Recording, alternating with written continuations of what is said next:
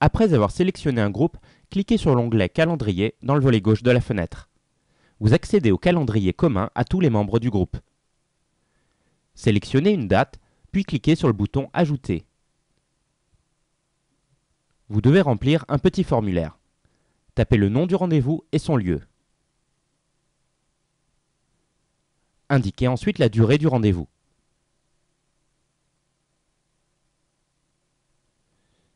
Cliquez enfin sur le bouton Enregistrer.